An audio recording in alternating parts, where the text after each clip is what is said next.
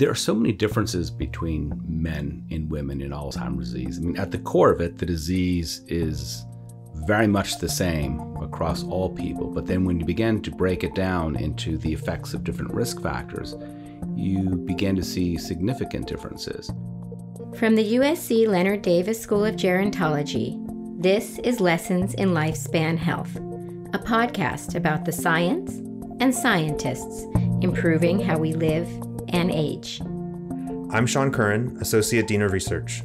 And I'm Orli Belman, Chief Communications Officer. On today's episode, we hear from Professor Christian Pike and how his research on sex differences in Alzheimer's disease can help inform how we might one day prevent and treat it. More than 5 million Americans are currently estimated to be living with Alzheimer's disease, and while aging is the single greatest risk factor for developing the disease, nearly two out of every three people afflicted are women.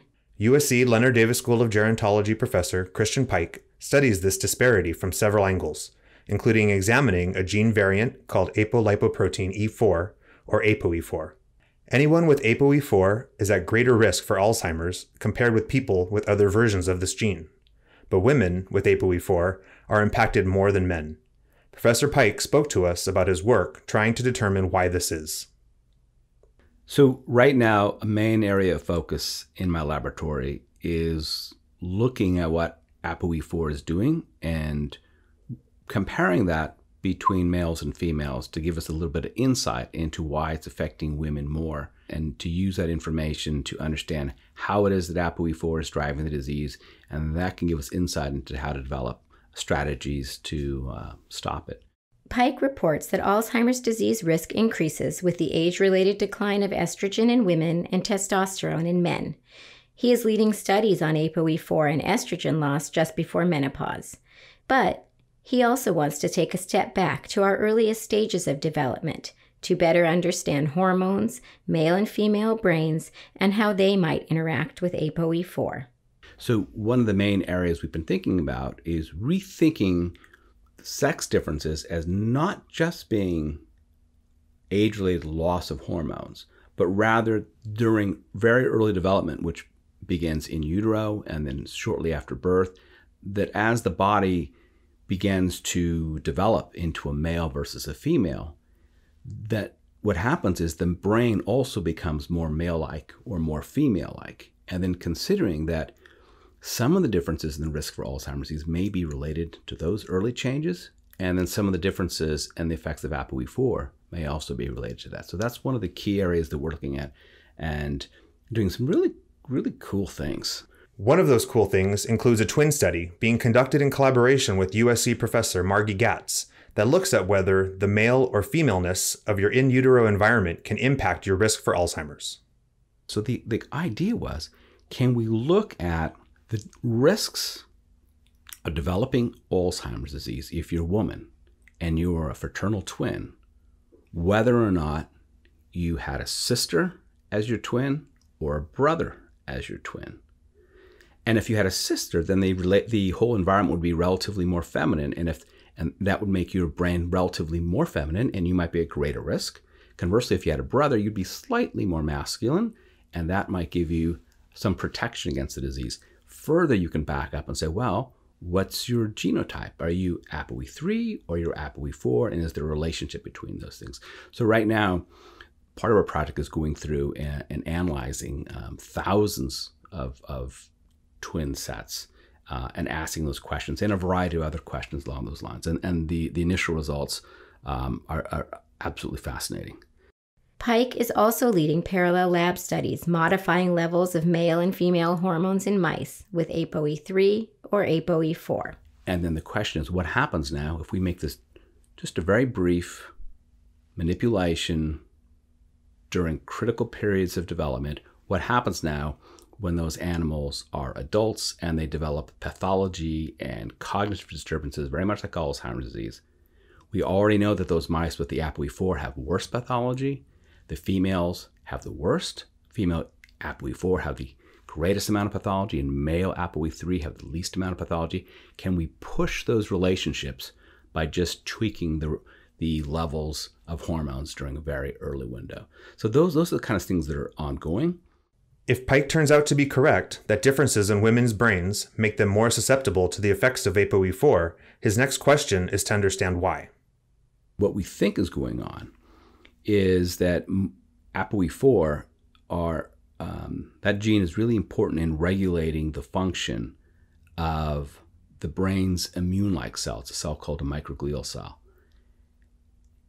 And what we know is that if you have ApoE4, for example, you're more likely to respond to different immune challenges with a greater inflammatory response. Um, and these sorts of immune challenges and inflammatory responses are implicated in development of Alzheimer's disease. So one of the things we're focusing then is comparing what's happening with microglia if they're from males versus females, if they're from an ApoE3 genotype or an ApoE4 genotype, and how that's affecting um, the ability of microglia to do their protective job and their what goes wrong with the microglia when they fail to be protective and they actually turn towards um, a, a role where drives the disease progression. Much of Pike's work highlights just how little research has been done on differences between males and females. There are so many differences between men and women in Alzheimer's disease. I mean, at the core of it, the disease is very much the same across all people. But then when you begin to break it down into the effects of different risk factors, you begin to see significant differences. And in recent years, there's been greater emphasis on sex differences. And the more we look, the more differences between a male brain and the female brain that we find. One issue is that research subjects have historically been male. Um, and there's just been an, a kind of a, upswell of interest in this area, and the NIH a couple of years ago um, realized this and began to look at a few drugs in particular that, that people are taking, prescription drugs, that worked almost you know qualitatively different between men and women. Said, you know, it's not okay for us to do all our research in just men.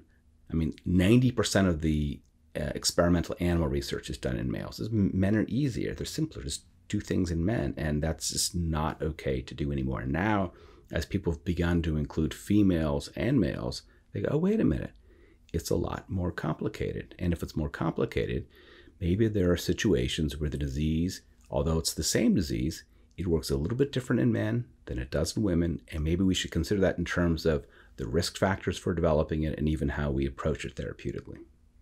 Pike's approach to looking at early development may also lead to new ways of thinking about treatment and prevention, ones that begin before Alzheimer's disease starts to develop. If you look at clinical trials of Alzheimer's disease drugs, almost all of them have failed. The failure rate is over 99%. Those are very, very expensive for the drug companies to run, and it's it's a losing game. And there's a variety of reasons for this. I think one of the reasons that many of the field, including myself, believe is that we might be having the correct targets, like reducing the amount of beta amyloid or reducing the amount of tau. But we tend to, we've historically been starting these clinical trials when the patients already have early stage disease. By that time, their brains are already full of plaques and tangles. There's so much pathology I think a lot of the damage has already been done. And what needs to be done and what is starting to be done is finding people who are at high risk. So, for example, people who have two copies of ApoE4 and beginning treatments on them in their 40s or 50s, decades before, because we have evidence that the, that the underlying pathology starts a couple decades before the clinical manifestation. Start interventions much earlier, maybe we can prevent it. But that becomes very difficult because now you're talking about a 20 year clinical trial. Um, very expensive. So I think that Alzheimer's disease, in terms of what we know about it and our ability to cure it, or at least prevent it, slow it down, um, has greatly increased. The difficult step of taking which of those strategies are going to be most effective and finding the right ways to test them, that's the difficult part. And I would say that one of the hopes I have um, to kind of speed up that process is that the area of, of imaging and biomarkers has greatly increased in the last few years. In the meantime, Pike says there are steps we can all take to keep our brains and bodies healthy. what I always tell people is there are things that we do know that you can do, and a lot of those are more lifestyle. So it's things that tend to be good for heart disease and so many other conditions. Just eat better.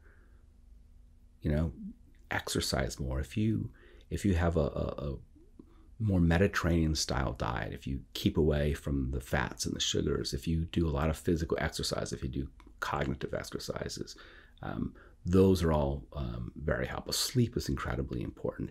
As you sleep, your body naturally clears away beta amyloid and tau, the two proteins that are driving the pathology. So if, if you can just live better, um, that's this way you know, the, we, we look at lifestyle factors and how they interact with genetic risk factors. You can't control what your genetics are, at least you can't yet. But you can control your environment and your lifestyle, modif- we call modifiable risk factors. And so what everybody can do is deal with those now um, while we're while we're waiting to get the uh, the treatments. That wraps up this lesson in lifespan health. We'd like to thank Professor Christian Pike for his time and expertise, and thanks to all of you for listening. Join us next time for another lesson in lifespan health, and please subscribe to our podcast.